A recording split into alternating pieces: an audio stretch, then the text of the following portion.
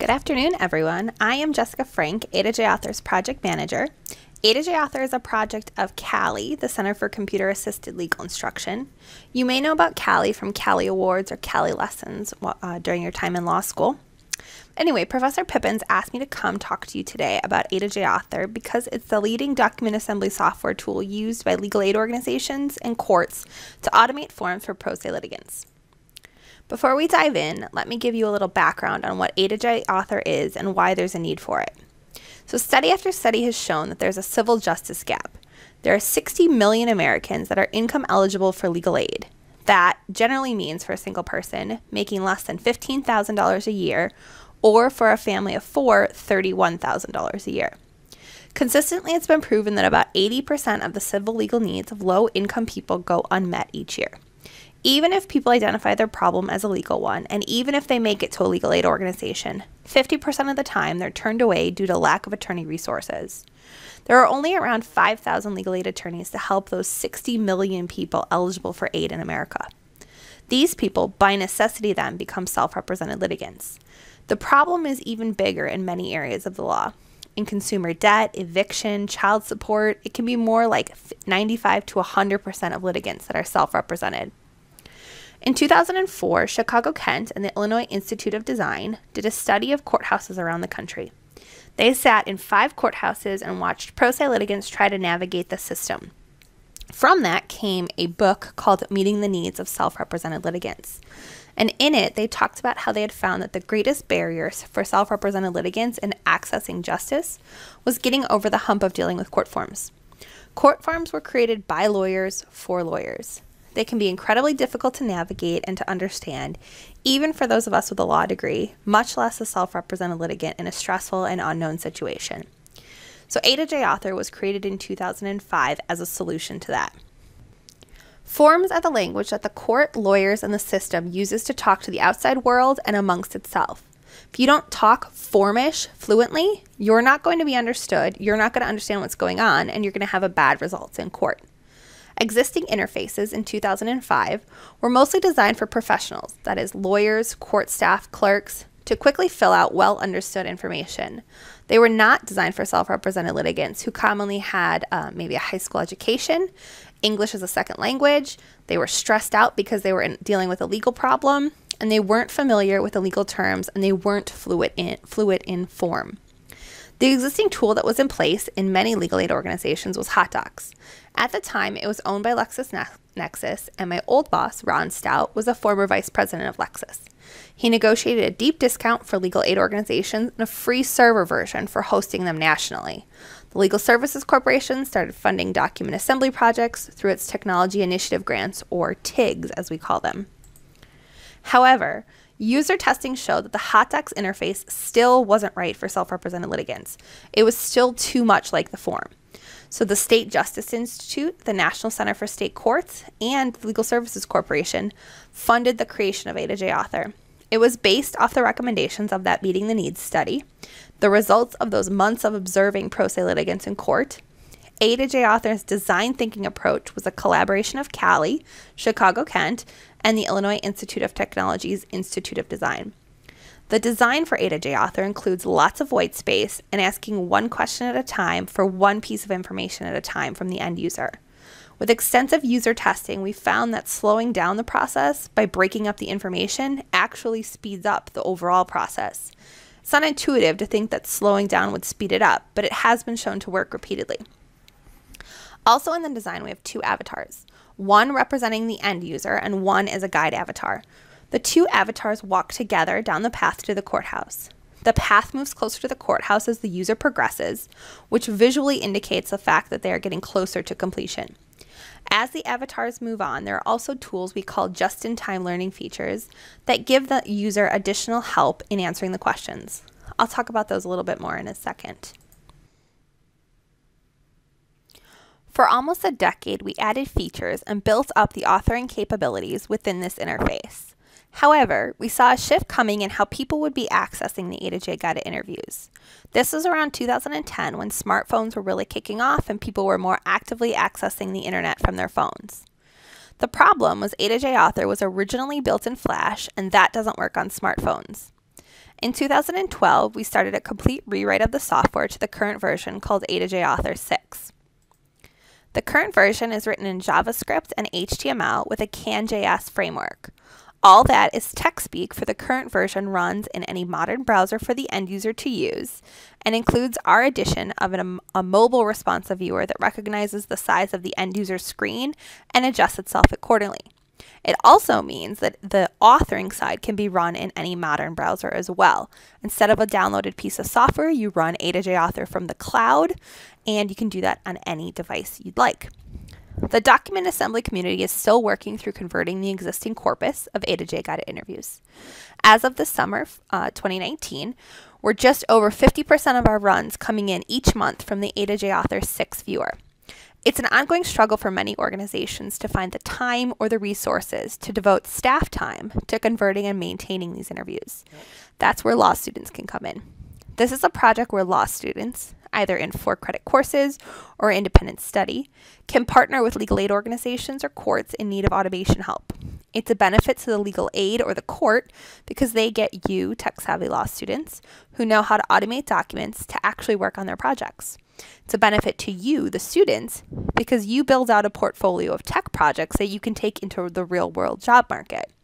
You also make connections in the legal world with subject matter experts and the attorneys in the courts or legal aid space that you work with, and you get to work on something that actually helps people.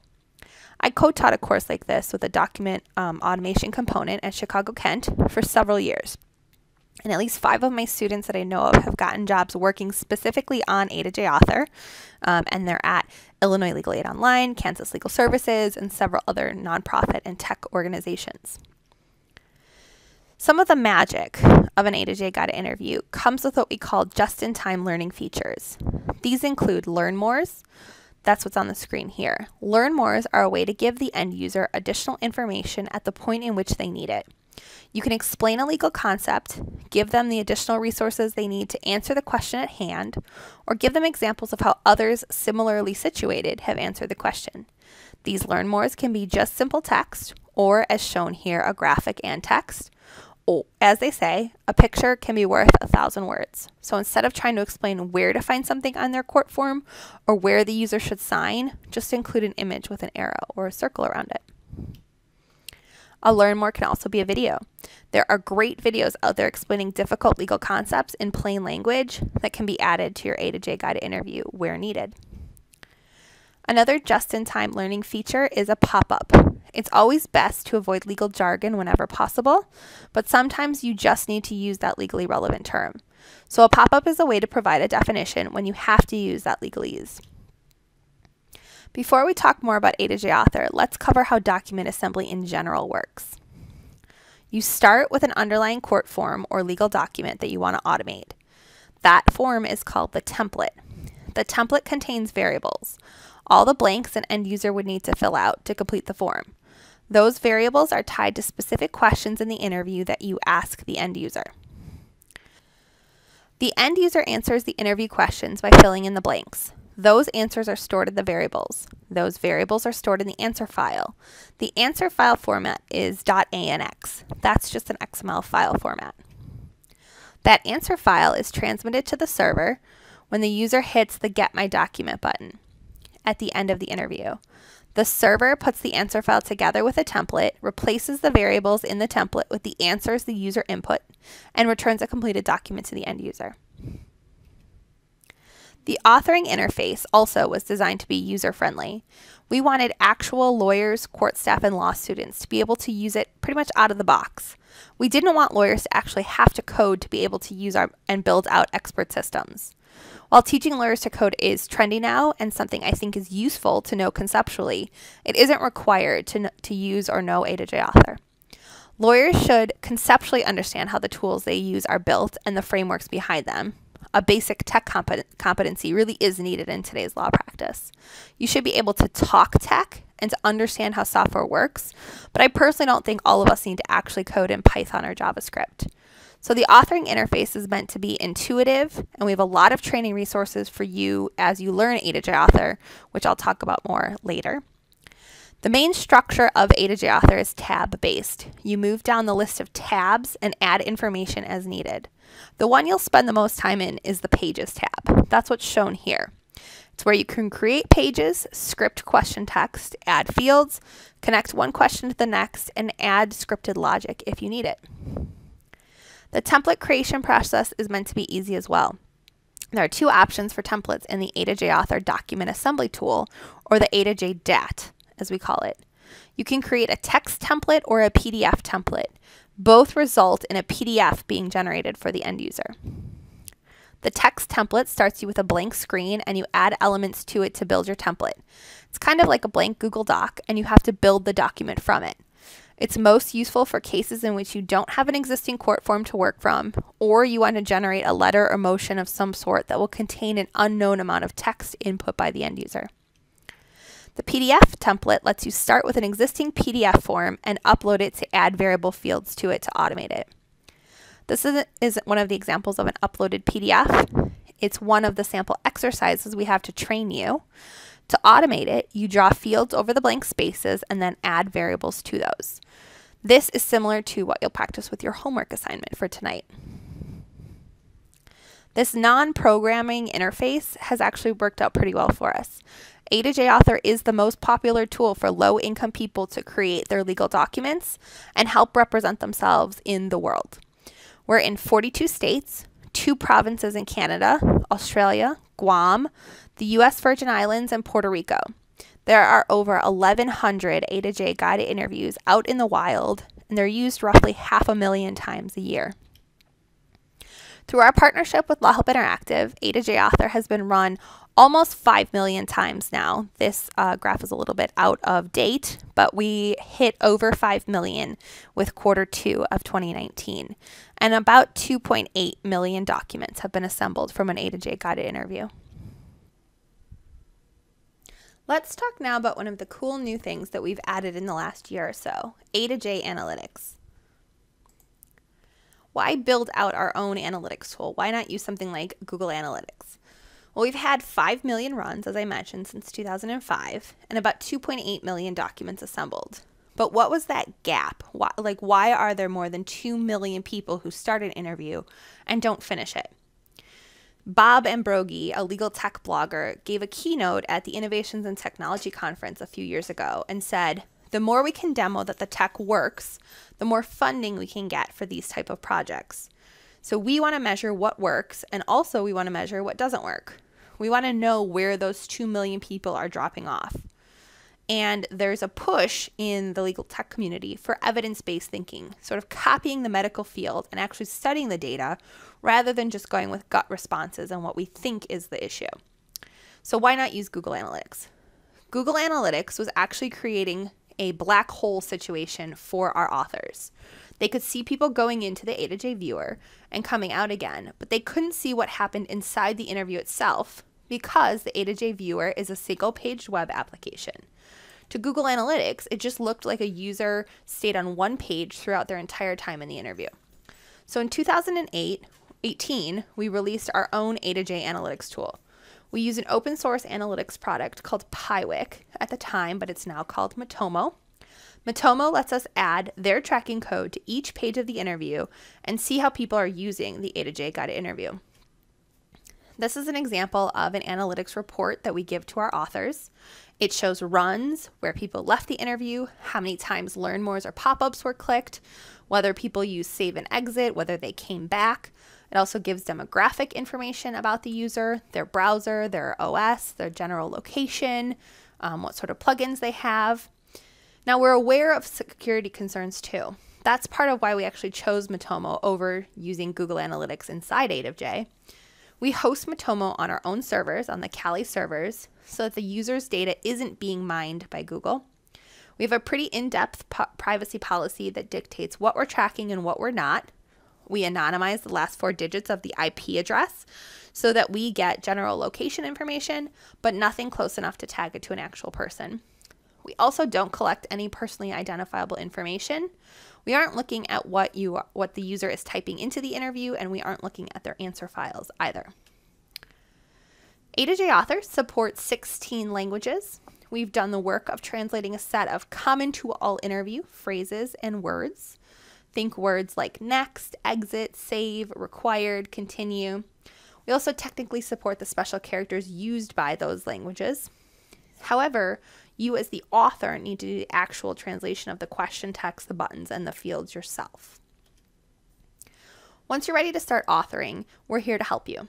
We have a YouTube channel with over 40 videos related to document assembly, including many on different aspects of authoring within A to J Author, but also some on plain language, how other organizations are using document assembly, and even a couple on HotDocs for those that use A to J as a front end for HotDocs. Our YouTube channel is youtube.com slash A to J Author. Our website, www.a2jauthor.org, contains many resources to get you started authoring. The most important is probably the A to J authoring guide. That is our software manual. It has detailed descriptions of how to do everything in A to J Author. You can find that under the Learn tab in the top navigation bar at www.a2jauthor.org. We also have over a dozen sample exercises created by our team to help you learn A to J Author. These are step by step instructions, complete with screenshots and exercise files, that'll help you practice your authoring skills. I believe you're being assigned the quick and easy automation one for tonight's homework. Just a note, there is a known bug with the check boxes not working properly. So if you automate the entire form, but your check boxes in the template aren't working properly, we know about it and we're fixing that in our next code push. You can keep up to date on the latest A to J Author news by following us on our Twitter account at A to J Author. We announce code pushes, bug fixes, upcoming webinars, new features, and general document assembly news there as well. Now, I hope I have inspired all of you to try out A to J Author, but if you're really gung ho about moving forward with a project, we have a couple options for you. Soon you'll soon we're going to be opening up a hosting service on a website called a2j.org for anyone interested in creating an A2J guided interview for self-represented litigants to use. So long as you don't charge the litigants to use it, we won't charge you to use A2J Author, or we won't charge you to host it um, either. If you want a bit more control, there's always the option to self-host. What I'm showing here is the GitHub repository for our A2J viewer. This is the these are the two um, GitHub links. One is for the A to J viewer and one is for the A to J DAT, the document assembly tool. If you're interested in self-hosting, our A to J backend developer Tobias Nteireho has done a great job with his instructions on how to self-host and the files that you'll need to do that. And he's also available to support those who self-host by answering questions and working through debugging problems um, with screen sharing sessions. So if you are interested in hosting and you want to move forward with a project, you can check out the README files on both um, GitHub, the A to J viewer, and the GitHub for the A to J DAT. So finish off my prepared slides here, I just wanted to share some of the new things that we're working on. Coming soon, so think next couple of months, we'll be rolling out a new set of end user avatars. We've been working on a set of avatars that are going to be as inclusive as possible, but won't be a time suck for people who are filling out the forms. Because ultimately the avatar doesn't matter to the uh, to the ultimate completion of the form. So we're adding the new avatars and the way for the user to pick the one that best represents them, independent of the what's your gender question. So the user is going to see all eight avatar options. Then they'll be able to pick from five skin tones and eight hair color options. We're also working on a grant that will make A to, the A to J Author Viewer WCAG 2.0 AAA compliant, which is the highest level of compliance you can have on WCAG. Um, WCAG is Web Content Accessibility Guidelines, um, also referred to as like ADA compatible. Um, it makes gives you guidelines on how to make your website as accessible as possible, and AAA is the highest level. We're working on a grant to compartmentalize the different components of A to J author. So there is the author side of it, the viewer, and the DAT. Um, and so we're going to make it easier for people to host them or host one or multiple variations of them and make it easier for us to work on the code so that we're not touching all three at the same time. Finally, we're adding enhancements to the map for those authors who are more visual then the map will be an easier way for you to create content within A to J Author. These are all in addition to our working towards open sourcing A to J Author.